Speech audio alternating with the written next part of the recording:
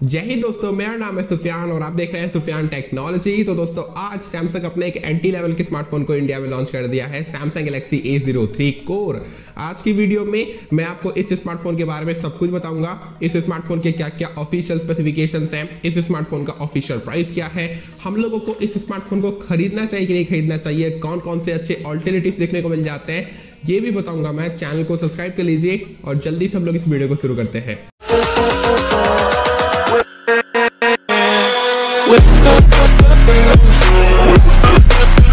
दोस्तों, वीडियो शुरू करने से पहले एक छोटा सी रिमाइंडर कल रात को मैं Realme 9i के बारे में सब कुछ बताया था, उसके स्पेसिफिकेशन प्राइसेस कब लॉन्च होगा इंडिया में, सब कुछ एक्सप्लेन किया था मैं। आई बटन पे दे देता हूँ, जल्दी जाके क्लिक करके देखो, सब कुछ पता चल जाएगा। और आई बटन के सारी वीडियोस को चेकआउट करिए, बहुत अच्छे वीडियोस बनाता हूँ, आपको ज़रूर से पसंद आएँगे। चलिए दोस्तों, सबसे पहले शुरुआत करते हैं डिस्प्ले से। यहाँ पर आपको 6.5 इंच का एक H D plus P L H T F T panel मिल जाता है 270 के पीपीआई के साथ। इन्फिनिटी वी नॉच मिल जाता है और नीचे चिन्ह देखने को मिल जाता है। देखो यार, पहली बात तो अगर आप, चलो ठीक है आईपीएस एलसीडी पैनल नहीं दिए तो कोई बात नहीं, ठीक है? आईपीएस टीएफटी पैनल तो दे देते पीएलएस टीएफटी पैनल दिए हो। आठ हज़ार रुपए का स्मार्टफ़ोन है। कोई सेंस बनता है इसका? अरे सैमसंग भाई थोड़ा सा तो खर्चा कर दिया करो। अपने एंटी लेवल के स्मार्टफ़ोन में थोड़ा सा तो इंप्रूवमेंट लेके आओ। आईपीएस एलसीडी पैनल वो डिजर्व करता है स्मार्टफ़ोन आठ हज़ार रुपए का स्मार्टफ़ोन है। तो भी आप जान के एकदम लोएस्ट टीएफटी पैनल के टाइप को पकड़ाए हो। कुछ भी? कुछ भी? डिस्प्ले वाइज ये स्मार्टफ़ोन अपने प्राइस रेंज तो क्या? जो दोस्तों आपको पाँच छह हज़ार रुपए के स्मार्टफ़ोन मिलते हैं ना उनके जैसे भी आपको अच्छे स्पेक्स नहीं दे पाता है। पाँच छह हज़ार रुपए में हम लोगों को कितने अच्छे अच्छे स्मार्टफ़ोन देखने को मिल जाते हैं। खैर, आगे मैं आपको बताऊँगा, लेकिन ये स्मार्टफ़ोन डिस्प्ले वाइज बिल्कुल भी अच्छा नहीं है। अगर दोस्तों कैमरास की बात कर ले तो कैमरास वाइज भाई क्या ही कहूँ मैं। एक आठ हज़ार रुपए का स्मार्टफ़ोन है और ज़बरदस्ती हम लोगों को सिंगल कैमरा पकड़ाए हैं। एट मेगापिक्सल का प्राइमरी कैमरा पाँच मेगापिक्सल का सेल्फी और आठ हज़ार रुपए के स्मार्टफ़ोन हम लोगों को कैसे कैसे कैमरा दे देते हैं? थर्टीन मेगापिक्सल का ट्रिपल कैमरा सेटअप दे देते हैं। थर्टीन मेगापिक्सल का कम से कम डुअल कैमरा सेटअप तो दे देते। चलो, पाँच का सेल्फी दे दिए कोई बात नहीं। लेकिन जो मेन कैमरा है उनको तो थोड़ा सा अच्छा कर देते। 8 मेगापिक्सल डिजर्व नहीं करता है। 13 प्लस 8 मेगापिक्सल करते हैं तो कुछ देख के भी अच्छा लगता है कि हाँ भाई सैमसंग का एंटी लेवल का स्मार्टफ़ोन है, लेकिन बहुत अच्छा डुअल कैमरा सेटअप दे देता है। कैमरास भी बिल्कुल भी अच्छे नहीं है। दिल से बुरा लगता है यार। अगर दोस्तों मेन स्पेसिफिकेशन की बात कर ले तो यहाँ पर आपको फिंगरप्रिंट अनलॉक मिलता ही नहीं है। आठ हज़ार रुपए का स्मार्टफ़ोन है और फिंगरप्रिंट स्कैनर तक नहीं दी है। और आठ हज़ार रुपए के स्मार्टफ़ोन हम लोगों को सारे के सारे फिंगरप्रिंट स्कैनर दे देते हैं। यहाँ पर आपको E M M C five point one का शो सपोर्ट मिलता है L P D R four X type मिल जाता है पाँच हज़ार एम का बैटरी मिल जाता है लेकिन 7.75 वॉट के चार्जर को सपोर्ट करता है। अरे कम से कम 10 वॉट का तो चार्जर दे देते इतनी कंजूसी एंड्रॉइड 11 गो एडिशन के साथ आता है। कम से कम एंड्रॉइड 11 का फुल वर्जन तो दे देते। देंगे कैसे? क्योंकि जो स्मार्टफ़ोन का प्रोसेसर है, वो तो झेल ही नहीं पाएगा। क्योंकि हम इतने बेकार स्पेक्स जो दिए हैं। इतने बेकार स्पेक्स को जो एंड्रॉइड 11 का फुल वर्जन है, कहाँ से झेलेगा? हम गो एडिशन दे देते हैं, ठीक है ना? वो भी ठीक से चलेगा नहीं, क्योंकि इतना मस्त प्रोसेसर जो दिए हैं। अरे, अभी से देख, आराम से अगर दोस्तों परफॉर्मेंस की बात कर ले तो यहाँ पर आपको एक बहुत ही पुराने जमाने का पुराना प्रोसेसर देखने को मिलता है Unisoc S C nine eight six three A, जो 28 नैनोमीटर के टेक्नोलॉजी पे बेस्ड एक ऑक्टा कोर प्रोसेसर है। यार 28 नैनोमीटर के टेक्नोलॉजी पे बेस्ड स्मार्टफ़ोन चलेगा क्या यार? वो तो दो मिनट में हैंग होकर स्विच ऑफ़ हो जाएगा। बंदा गेमिंग क्या करेगा? Smartphone day to day life में चल जाए, वही बहुत बड़ी बात है। और आप इतना अच्छा प्रोसेसर दिए हो। और यहाँ पर आपको I M G G eighty three two two का जीपी मिल जाता है। यार सैमसंग अपने ना एंटी लेवल के स्मार्टफ़ोन पे थोड़ा सा फोकस करो, थोड़ा सा इंप्रूवमेंट करने का कोशिश करो, ठीक है ना? कम से कम यहाँ पर Helio G thirty seven G thirty five अरे हीलियो पी ट्वेंटी टू तक दे देते यार तो भी चलता। इतना पुराना प्रोसेसर दोगे, बंदा स्मार्टफ़ोन कैसे यूज़ करेगा?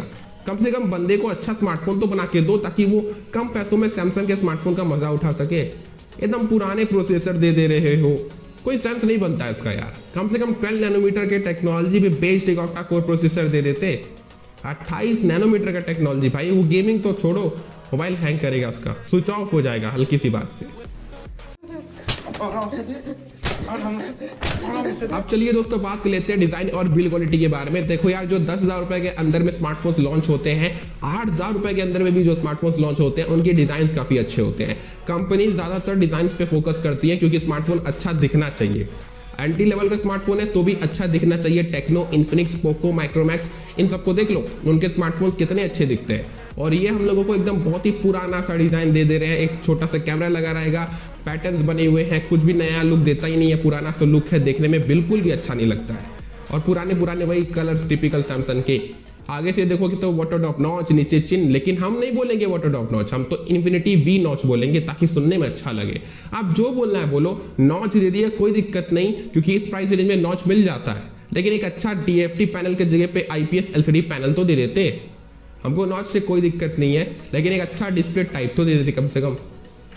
बिल्ड वाइज देखोगे तो प्लास्टिक बैग के साथ आता है प्लास्टिक फ्रेम मिल जाता है, कोई स्क्रीन प्रोटेक्शन नहीं है। बिल्ड वाइज ठीक है, आठ नौ हज़ार रुपए के स्मार्टफ़ोन ऐसे ही होते हैं, लेकिन कम से कम डिस्प्ले टाइप चेंज कर देते, बस यही शिकायत है। अब चलिए दोस्तों बात कर लेते हैं मेन मुद्दे के बारे में प्राइस और अवेलेबिलिटी के बारे में। तो ये स्मार्टफ़ोन आज इंडिया में लॉन्च हो गया है। प्राइसिंग की बात कर ले तो केवल एक ही रैम वेरिएंट लॉन्च किया गया two plus thirty two GB जिसका प्राइस है सात हज़ार नौ सौ निन्यानवे रुपए, आठ हज़ार रुपए। चड्ढा समझाओ इसे, समझाओ। ऐसे खिलौने बाज़ार में बहुत बिकते हैं। अब चलिए दोस्तों बात कर लेते हैं क्या वाकई में हम लोगों को इस स्मार्टफ़ोन को खरीदना चाहिए। जी नहीं दोस्तों अगर आपका बजट दस हज़ार रुपए के अंदर में है आठ नौ हज़ार रुपए का भी बजट है तो इसके तरफ़ मत जाना इसको मत खरीदना। आपके पैसे फंस जाएँगे डूब जाएँगे। मैं आपको अच्छे अच्छे ऑल्टरनेटिव बता देता हूँ। उनके तरफ़ जाओ जो आपको लाख अच्छे स्पेक्स दे देंगे। ठीक है ना? ये बड़ी अच्छी बात कही आप अगर दोस्तों ऑल्टरनेटिव की बात कर ले तो अगर आपका बजट आठ हज़ार रुपए के आसपास है तो आप इन्फिनिक्स हॉट 11 को जाके परचेज करो। बहुत अच्छा स्मार्टफ़ोन है। डुअल स्टूडियो स्पीकर तक मिल जाते हैं वहाँ पर एंड आपको बहुत अच्छे स्पेक्स देता है, बहुत अच्छे लुक्स के साथ भी आता है। मोटो ई फोर्टीन की तरफ़ जा सकते हो, वो भी बहुत अच्छा स्मार्टफ़ोन है। टेक्नो पोआ टू है माइक्रोमैक्स का इन वन बी है माइक्रोमैक्स का इन टू बी है पोको सी थ्री है। इतने अच्छे अच्छे स्मार्टफ़ोन मिल जाते हैं। भाई, इसके चक्कर में मत पड़ना। भूल जाओ कि ये स्मार्टफ़ोन लॉन्च हुआ है। आप ऑल्टरनेटिव की तरफ़ जाओ आपको लाख अच्छे स्पेक्स मिल जाते हैं वहाँ पर। शाबाश बेटा। बहुत बढ़िया मुन्ना। तो दोस्तों बात यही है कंप्लीट पैकेज सैमसंग के इस महान लेजेंडरी स्मार्टफ़ोन का। Samsung Galaxy A zero three core का। आई होप सो कि आपको ये वीडियो पसंद आया होगा और आप मेरे बातों से एग्री करते होगे। अगर आपको दोस्तों ये वीडियो पसंद आ गया तो इस वीडियो को तुरंत से लाइक कर दो। एम करते हैं सत्तर लाइक का। जल्दी से कर दो यार। और चैनल पे नए आ गए तो चैनल को सब्सक्राइब भी कर लो और साइड के बेल आइकन को भी दबा दो। इस वीडियो को अपने फ्रेंड्स लोग के साथ भी शेयर करो और मुझे नीचे कमेंट करके बताओ कि आपको Samsung Galaxy A zero three core कैसा लगा। आपके क्या ओपिनियंस है रिएक्शन है? कमेंट करके जल्दी से बताओ। और मैं ऐसी आप लोगों के लिए इंटरेस्टिंग टेक्नोलॉजी से रिलेटेड वीडियोस क्रिएट करता रहता हूँ। रात को टेक न्यूज़ भी देता हूँ तो टेक न्यूज़ भी ज़रूर से देखा करो। और मैं मिलता हूँ आप सभी से अगले और एक नए इन्फॉर्मेटिव वीडियो में। हमेशा अपना ख्याल रखो खुश रहो। चलो बाय मज़ा आया। और मैं ये जो मज़ा है हिंदुस्तान के हर व्यक्ति को देना चाहता हूँ।